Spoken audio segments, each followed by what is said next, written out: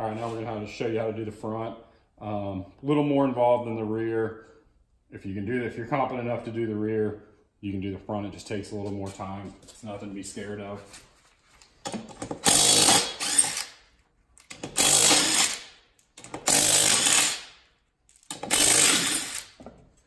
Get this tire off first.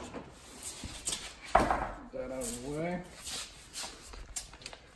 Pop this some of cover off. And again, we're gonna have to knock that out flat so this nut will back out. That's good.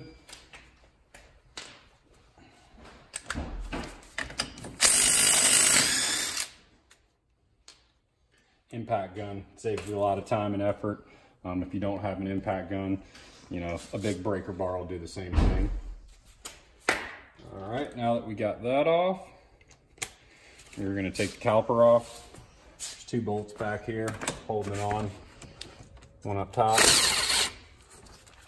Take that. One right here. That guy out. You just slide.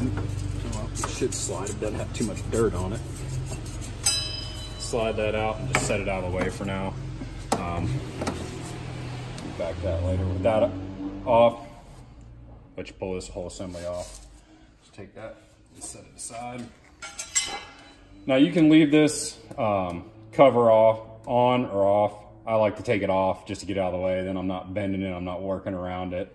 Um, I find it easier that way. So we're just gonna take it off. Some people prefer not to mess with it and leave it on.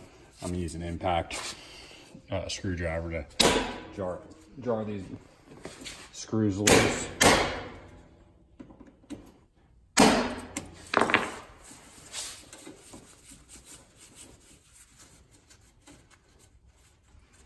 Just make taking this off makes everything else easier. You can see what you're working on. You ain't fooling with anything. You're not worrying about breaking or bending parts.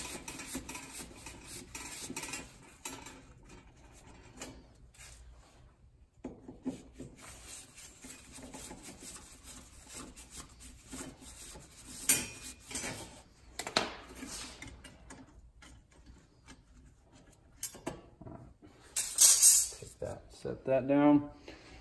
All right, now you got three nuts to take off here to be able to get this hub off. You got here, here, and down here. Um, you got a cotter pin in each one of them. So bend this cotter pin right and get it pulled out. Sometimes you're able to get them out just with your hands. Sometimes you need pliers. Sometimes you end up breaking them and need a new one. And the last one over here.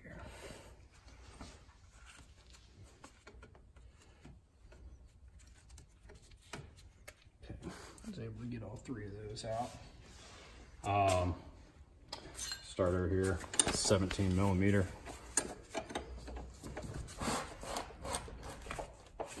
It would help if I went the right way.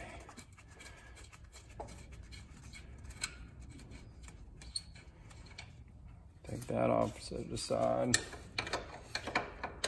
Get the upper ball joint one off.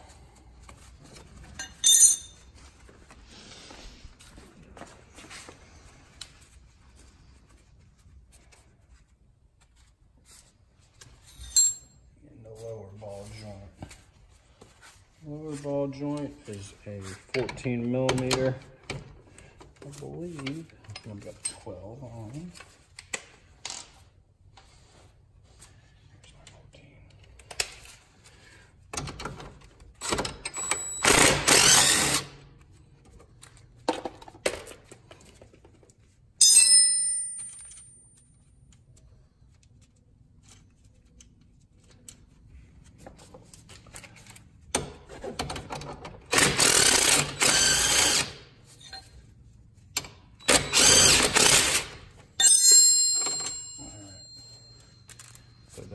Together so we won't lose it. And we got one more thing to take off. It's this little bolt up here. you can't really get to it with how it is. You have to disconnect the upper and lower ball joint to be able to, to free this. So I'm not even gonna mess with this until I get this loose. Um, take my hammer, just give it a little the hub. It should just knock it loose enough to be able to get this up and out of there. Same with the, uh, the rear. Should be able to just hit it a little bit. So we may have to do the front or the upper first.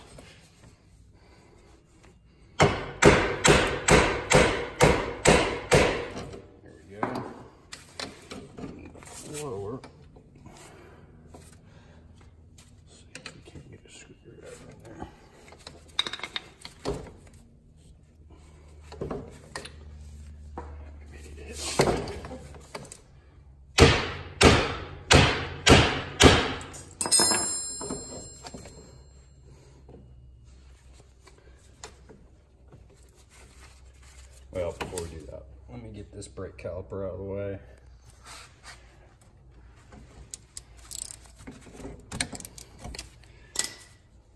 Got a bunch of mud down in there.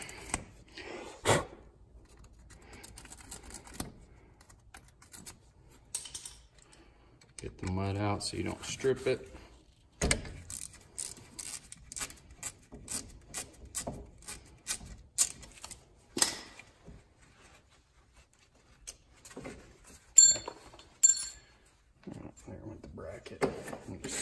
side. screw this back in. And again, you won't lose it.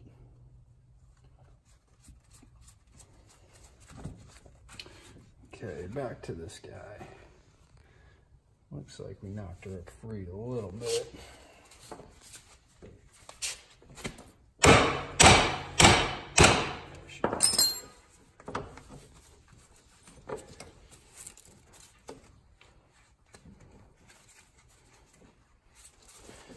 One more. And get the hub off. Bring it back to the bench. Same deal, you got a snap ring here. Take it, kind of get some of that dirt out.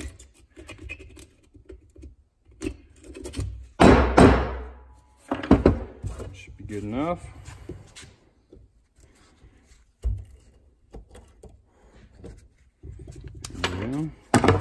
Out. Again, get gets knocked out from the rear, comes out through the front. Put that there. Nice solid area to pound on.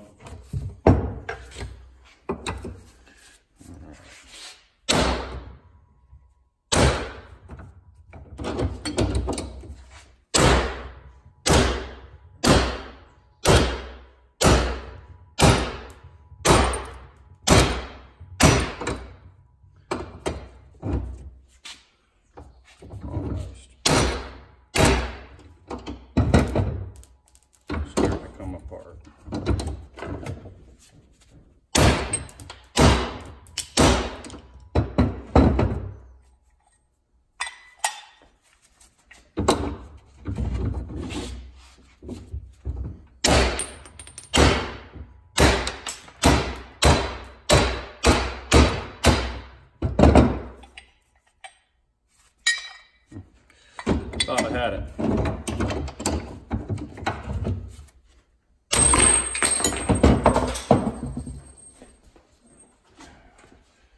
And the little bearings over there.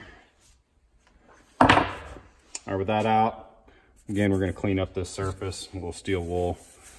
Just kind of polish it up just a little bit without taking anything off the surface actually.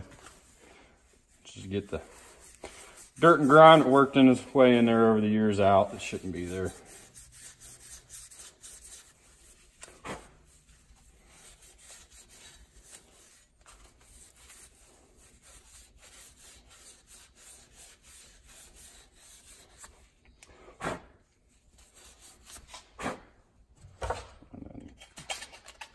between the race where the snap ring went. Get any dirt out of that you can.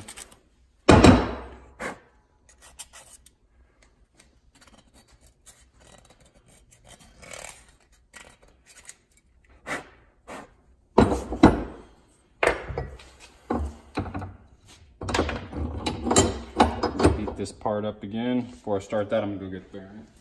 I got the new bearing here out of the freezer. We're gonna do the same thing as we did on the rear. We're gonna heat her up. Probably spend a little extra time just make sure we have enough heat instead of too little so we don't have to pound it. Keep the torch moving around.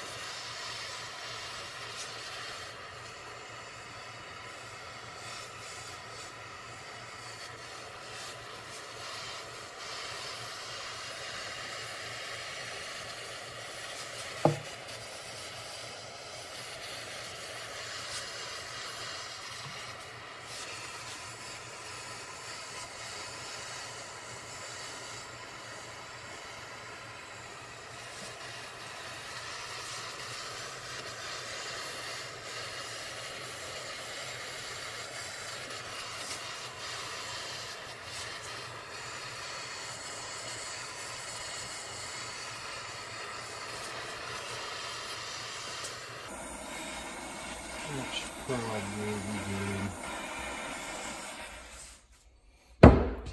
Alright, see if we can get her to drop in. There we go. That worked out good.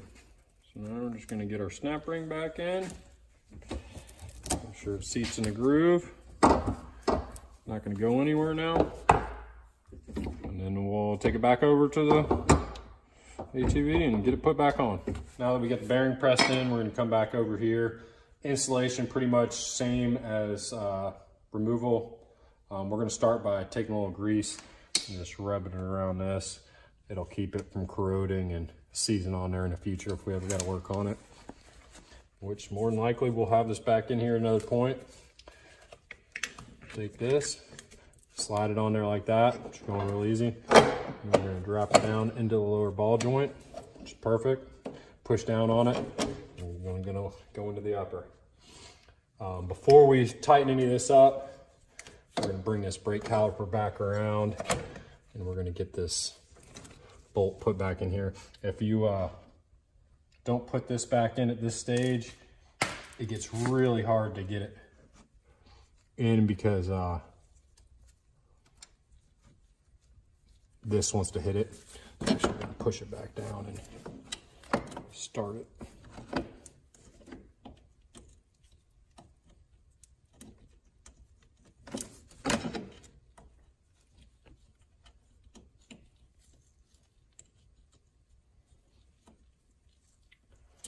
we can get it started.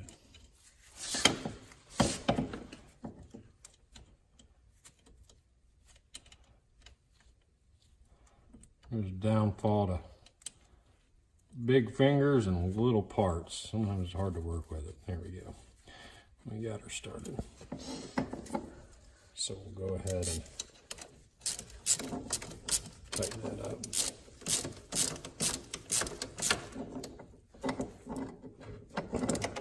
Alright, snug down. Get that put back on there.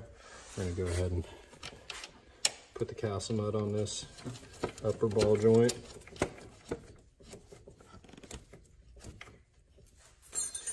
This, you really just want to snug it, snug it up. You don't need to go overkill tightening it. The cotter pin's gonna hold it in place. So just snug it up. Make sure you can uh, get your cotter pin through the hole there. That looks pretty good. Gonna slide that cotter pin in there all the way and then just bend one of the sides down. Down, that nut is never gonna back out. That in place, we're gonna come put the tie rod end in. Again, we're gonna put this castle nut on. just snug it up.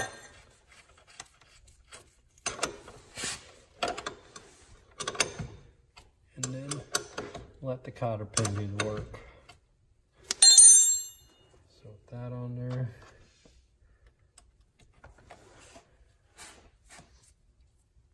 Bend it down. Again, not gonna go anywhere. Gonna take the bolt for that slower ball joint here.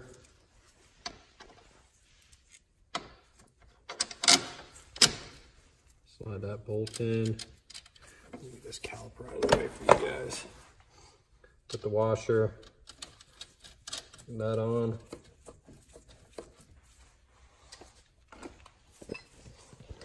Tighten up. Put on there and tighten up. And put the cotter pin in here.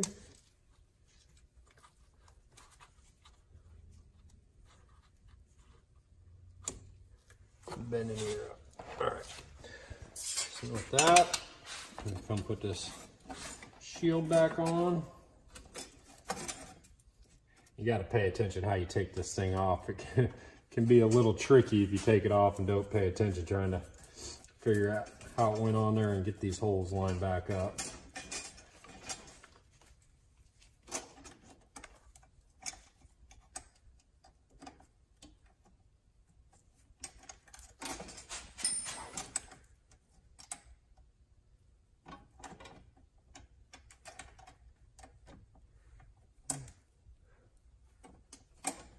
I am struggling today to get these this stuff started.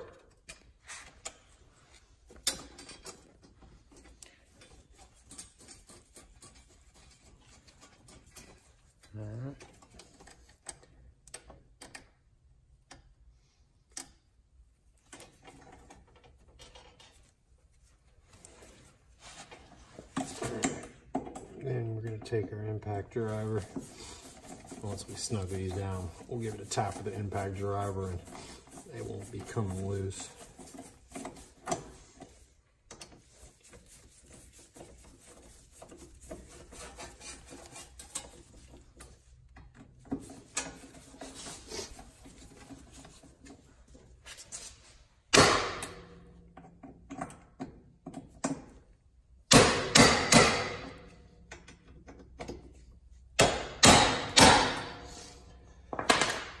Now that's on there, slide our rotor on, put the axle nut back on.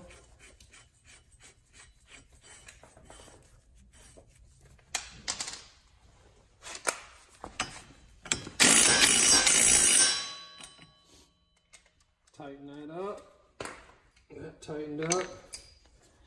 We're gonna punch this back down.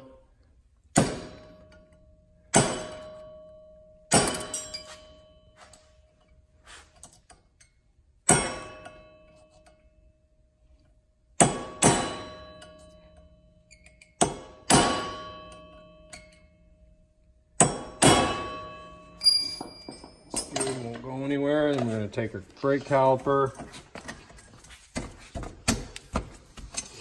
slide that back into place. Bleeder screw is always on the top. If you ever have to bleed it, the air is gonna go to the top of the system. Good way to remember it. And we're gonna put our brake caliper bolts back in.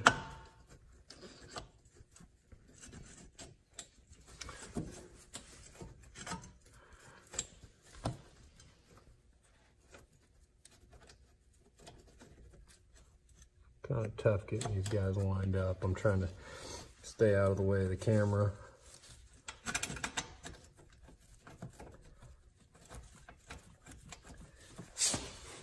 All right. We're just gonna tighten his back down.